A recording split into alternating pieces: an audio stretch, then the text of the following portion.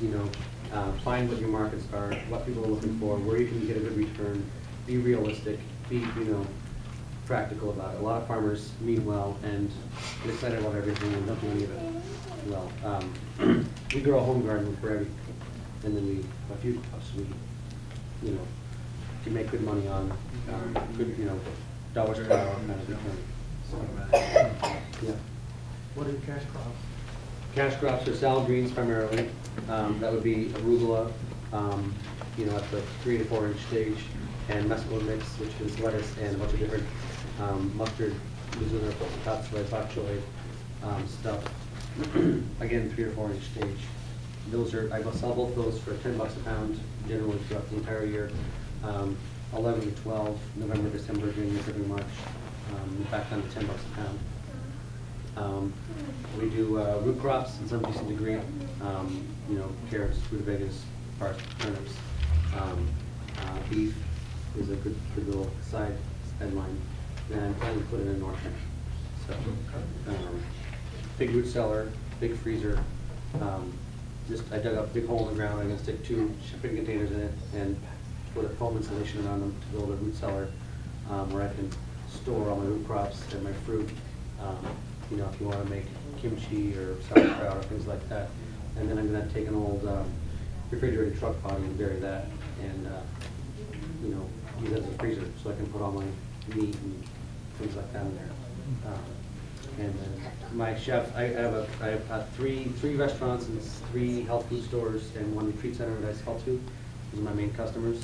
Um, And uh, one of my restaurants, my major, major account chef said, if I could grow, uh, you know, heirloom tomatoes and freeze them, um, like literally take fifteen pounds of tomatoes, put them in a Ziploc bag, chuck it in the freezer, pull it out in December and sell it to them, he'd take it for two, two fifty a pound, um, and make local heirloom tomato sauce in January. You know, and sell it as part of his, you know, lasagna with local tomato, or heirloom, local, you know, whatever they do in their restaurants. Um, But two fifty a pound, you know, guaranteed, and all you have to do is take your tomatoes and just literally drop them in the freezer. Um, If you've got a freezer in place and you're already- storing your meat in there, um, getting those kind of infrastructures in place, um, thinking systemically, you can say, in five years, I wanna have a functioning business where I'm making a hundred, hundred fifty grand a year, you know, on this three acres. Um, How can I do it? What infrastructure do I need? What crops should I be targeting? What price points, what yields, things like that. Um, I find, you know, um, I find restaurants to actually be very, very, uh, good customers. Health food stores are good customers. Um, If you can provide a quality product, um, and, and you're reliable, um, they'll pay you a good price, a good, you know, fair market price. They give you the, they give you, you know, eighteen times what the commodity farmers get in California. Um, You know, you sell potatoes to a restaurant, you get a buck for fifty a pound. The farmer in um, Maine is getting eight cents, or six cents a pound for his potatoes.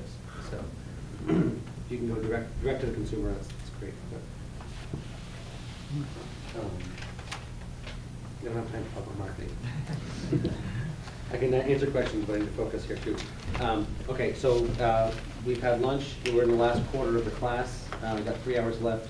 Um, This is definitely a chance to ask questions, so did anybody have anything they come up with during lunch that they'd like me to cover? Make sure I cover it before we get to the end of the day. Yes? Blueberries. Blueberries.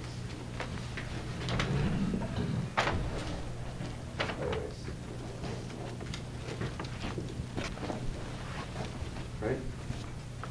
We get lots of people. Anybody else? No, okay. Um, let me just go through, um, these questions. Um, making up flat compacted soils, was that you? Did I answer this question for you? Um, late on minerals, I'll do that with, um, sod now, what do we do? Except, I think the guy that asked it's not here. They're coming back. One's coming back, okay, we'll skip that one for now. Um, Humates, when to use and how much. Um, Humates, I think, um, at, you know, a, a good, um, generous dose of humates would be something like five hundred pounds to the acre. Um, If you can afford it, it's gonna be great. If you've got a compost pile or a bedded pack, or you use animals in any way, shape, or form, um, um, make a bedded pack and make, make a compost, or you make compost, um, putting your comp, your humates into that compost pile is a great thing to do. Um, Taking those humates and first adding to them your trace elements. So take your copper sulfate you know you need, your zinc sulfate, your boron, your manganese, um, that you know you need. Mix that with five hundred pounds of humates per acre and stick that in your compost pile. Um, Would be a great thing to do with humates. Um, you can certainly just spread them out over the field. Um, generally, I will end up taking my trace elements, my ten pounds of copper sulfate, fifteen pounds of Solubor, 20 20 pounds of manganese sulfate, and mix them with humates and spread them broadcast directly in the field. That's generally how I end up spreading my trace elements. It's not the most efficient, most inexpensive way to do it. That's what I end up doing. Um, So, is that sufficient, Kathy? Uh, and then what were you, you said fifteen pounds of boron, twenty pounds of manganese, what's your copper and zinc? Doesn't matter. It's based on what my soil test says I should do. Okay. So Look at your you- soil test and then figure out. And figure out how many trace elements you need. As an example, fifteen pounds of Solubor, twenty pounds of manganese sulfate. Mix that with your five hundred pounds of humates per acre. And then put that either in your compost mm-hmm. pile or onto the field or split it up. And when we're doing that with the soil test, that's a per year amount, isn't it? Yes. So you're So you're making, the- you're making the compost, and you know you're gonna be spreading on this field in the spring. If you know you're gonna be, you know, making a compost pile, that you're gonna be spreading on the field in the spring, then you take your trace elements, mix them with humates, stick them in the compost pile while you're building it, and they will digest them and make them much more bioavailable than they otherwise would have been if you'd spread them on the field in their sulfate form. Does that make sense? Yeah, and, and, um, can you tell me anything about the, um, concern about high phosphorus, no high potassium in, um, compost based, like manure based compost? Is there something we should be careful about? Um, Compost, uh, I think people usually use way more than you need to use. Um, um, Compost is very, can be very, very valuable, it can be detrimental. In many cases, it's got some negative attributes. People throw a bunch of stuff in a pile, um, let it sit for a while, take it out and call it compost. It, there's no reason to say that's compost. That's putrefied organic material, it's pseudo decomposed. It can in many cases be detrimental to your, your soil. Um, I said before, you should add woody materials to your compost pile. Um, uh, If you don't, you're gonna be having a, um, a bacterial inoculant which will stimulate uh, weed growth. So adding compost is, a- in many cases, a great way to get your weeds to grow faster and your crops to grow slower. Many people do that. Um, A, a small amount of very good compost is extremely valuable. A large amount of mediocre compost can be detrimental. So, um, Manure based compost? If, if, if it's manure as a nitrogen source and it's well balanced with carbon and specifically a significant amount of woody carbon, and it's composted to the state where you would let a small child play in it and eat it with no problem, um, and you've inoculated it and perhaps put some biodynamic preparations in it and some minerals in it, that's a great material just because it's, you know, animal-based, if it's animal-based and you're, and the manure is um, from animals that are being fed genetically modified crops, um, GM, anybody who's, any manure from animals that are eating grain that's not organic is gonna be full of GM DNA and glyphosate, Roundup, in large quantities, which will, my understanding is, in most cases, make it through the compost pile and into your field at you know, multiple application rates, like doses. So animal manure is in many cases not a good thing to use, um, not because of the potassium and things, I would say, but more because of the, um, environmental toxins that it has in it. Um, that, yes. What about chicken manure? Are they being fed organic grain or not? No. Same thing. Any kind of manure from any kind of animal, humans, you know, ducks, geese, chickens, cows, goats, any animal that's eating genetically modified grain is not only pooping out GM DNA in large quantities and mutated bacteria, but large amounts of Roundup, which is a, you know, which, which will pull the trace elements out of your soil and out of your plants and kill them. But you can compost that good enough, You can, it's possible, but I don't think it's worth the hassle. Did you see the article in this month's Mother magazine where they were talking about those broad spectrum green weeding, um, uh, Herbicides? Yeah, herbicides that they've been using and how they're going five years, even in the compost pile and just killing everything after it's been composted down? It's, I mean, knowing what you bring into your farm and, and, you know, uh, being very picky about it. it is a very good idea. Yes. You know, um, oftentimes things that are free or cheap, um, there's a reason why they're free or cheap, right? Sometimes you find a deal, but you better know what you're looking for, because you can bring in bad things just, you know, very easily. Absolutely.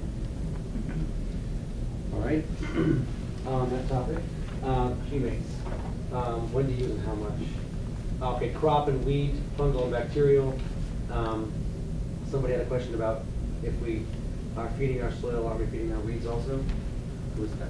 That's you, okay. Um, we talked about this last time, but it's worth reviewing. Uh, so, I basically have this, um, bacterial fungal, um, continuum.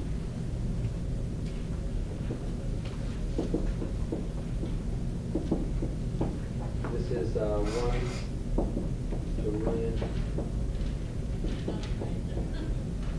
This is one. This is a million to one. This is bare rock. This is, um, the glaciers just came through and ripped everything off. This is, um, you know, Mauna Loa just blew up and left a bunch of new, new barren rock at the top of a mountain with nothing but rock. We got, almost everybody who's living there is bacteria. Million to one. This is a climax forest. This is, you know, redwoods, you know, somewhere in the Pacific Northwest. Um, Almost everybody who's living in the soil is fungi. And here is one to one. Here is the environment that our crop plants like to live in. And here's the environment that weeds like to live in. Weeds like to live in a bacterially dominant soil, crop plants like a fungally dominant soil. Functionally, um, if I was to, as I say, as I said before, if I was to put a bale of hay here on the floor, um, somebody might consider sitting on it, but no one would consider eating it. Yes? If I brought that bale of hay out to the horse up there, that horse would happily eat it, because that horse has the capacity to digest it. Um, So similarly, our crop plants have a more fungal digestive tract ecosystem, where they eat the byproducts of fungal digestion. And our weeds have a bacterial digestive tract, and they eat the products of bacterial digestion. So when we have a bacterial dominance in the soil, the bacteria are exuding compounds that feed our weeds. And when we have a fungal dominance in our soil, the fungi are exuding compounds that feed our crops. There are different stages on the evolutionary spectrum, and when we do things like minimize tillage, when we do things like um, use a compost that has a um, woody component in it, um, when we use fungal inoculants, when we do these things, we um, create an environment in the soil where the fungi take dominance. And in that case, our crops outcompete our weeds. Um. Okay. um, Sulfates and the sulfate math, um, when you're doing ten pounds of copper sulfate, do you have to worry about the amount of pounds of sulfur you get in there when you're factoring out how many pounds of sulfur you get. If you want to, feel free. Uh, I generally don't worry about it. You could just say, you know, five pounds per acre of sulfates, factor it in. It doesn't really matter. Sulfates, sulfur is an anion, it will leach anyway, so if you put a little bit more in, you'll still be a little bit low at the end of the year. So I wouldn't worry about it. Testing biology, um, I think that the amount of money you can spend testing biology is better spent feeding and inoculating and stimulating biology. Most of the biological assays that I'm aware of cost hundreds of dollars. Um, And um, I think it's better to just use, if you're gonna use that money, use that money feeding, feeding biology. I don't see any great benefit. If you understand, you know, what the basic pro, um, practices are you need to create the soil that you need for them to flourish, um, use that money creating those, that- that environment. Don't use that money, you know, testing and things like that. Certainly you can do it if you want. Um, The, the ones that actually give you detailed information are hundreds of dollars per sample, so. The simpler ones, I guess they're nice. I don't, I don't find a need for them. Perhaps someone else does. Anybody else have any comment on that? Testing biology? Anybody? No comment? Agreed. Agreed, okay. Um, Measuring minnows for compost piles, we talked about that enough? Uh, refresh the mineral math. What was your question? Um, anything specific? In Maybe if you just go through an example, to help me refresh it. You guys ready for this? You guys ready, Twister? Okay. Um, we have a, um, boron level of, um, point three ppm. Um, We have a target boron level of three ppm. Target is three.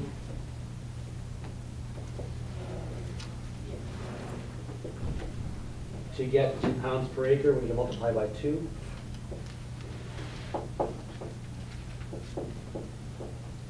To find the deficit, we subtract the target from the, what's present. To find we have, we need five point four pounds of actual boron per acre. Um, we this up a minute? Um, If we're gonna use something like Solubor as an example. Solubor contains twenty percent boron, which means five pounds of Solubor equals one pound of boron. And if we see we need five point four pounds of boron, that means we need twenty-seven pounds of Solubor. And then you go to the max application rates per year, and you see that you're never allowed to add more than fifteen pounds per, per year, because we're always trying to be slow and steady wins the race. And so the max application is fifteen pounds per acre. And that's the actual answer.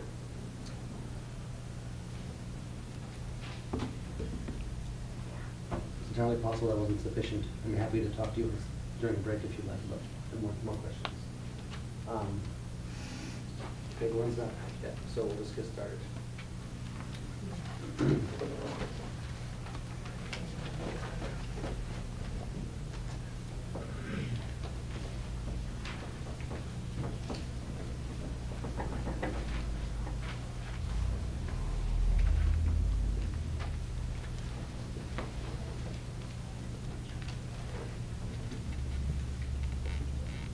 All right. You guys are a fairly quiet group. Just stay at lunch. No, no, I mean, in general, you two very quiet. We tend to learn better that way. Yes, Is it? we're not all yapping. I've been told it's a of wisdom, but I'm not sure if that's true or not. I think a little bit of engagement sometimes helps. Yeah, I mean, Anything I can do to facilitate that, or it's too late? All right. Um, So there's a lot of, a lot of details in here, and I don't know why, but for some reason my, my voice is hoarse today. Um, And uh, I don't have a lot more detailed information, um, or insight to offer than what what I've got written here, so um, I'll just, I'll, you know, run through these slides fairly rapidly, accentuate any salient points, then move, move on.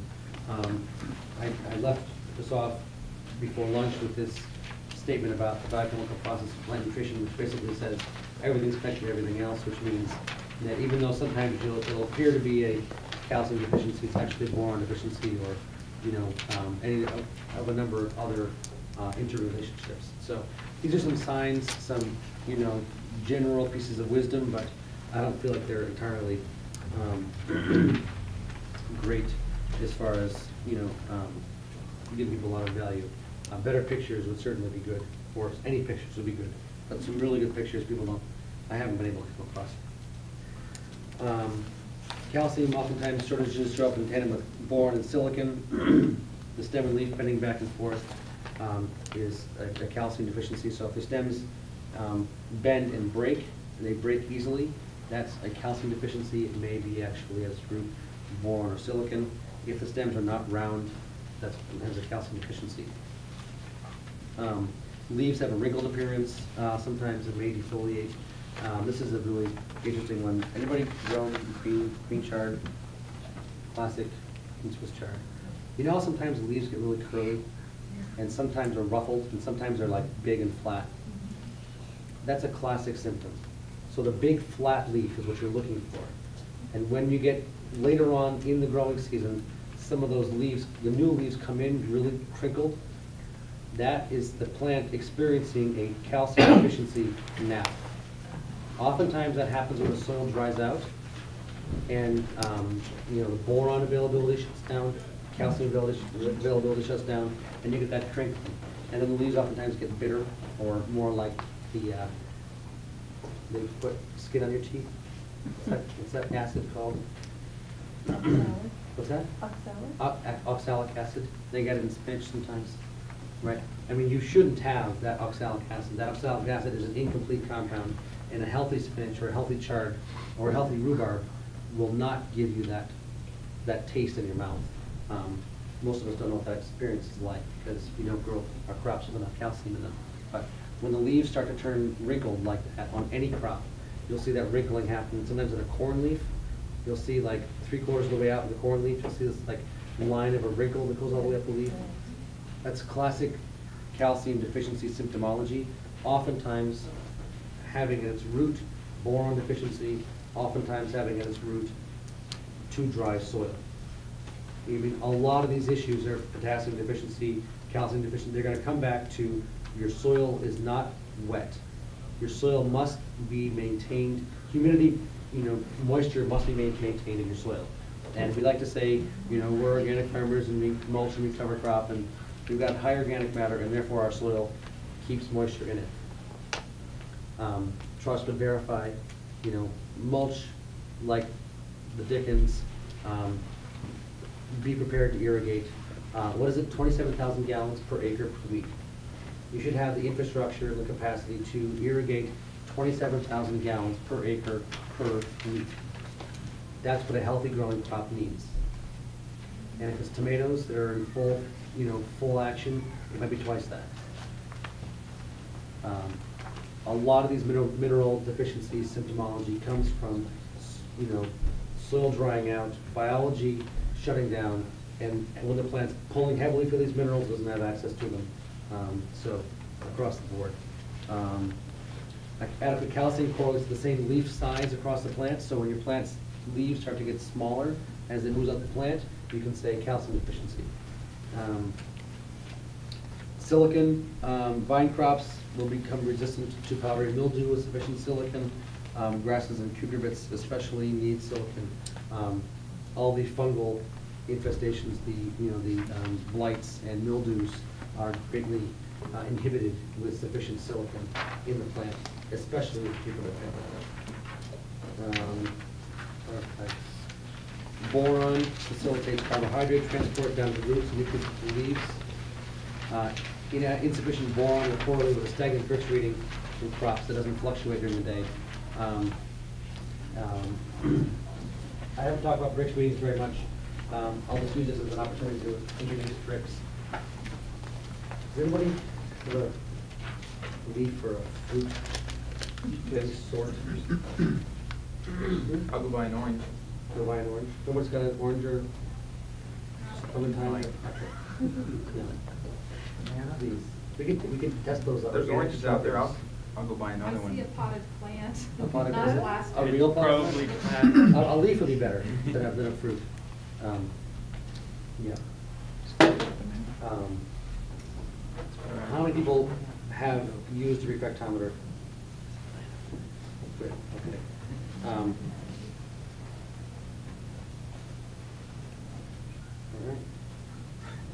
All right. Is it plastic? I don't think so.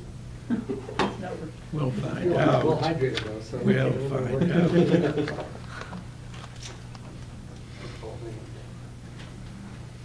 You got ten more. It's always harder when you're doing it in front of people too.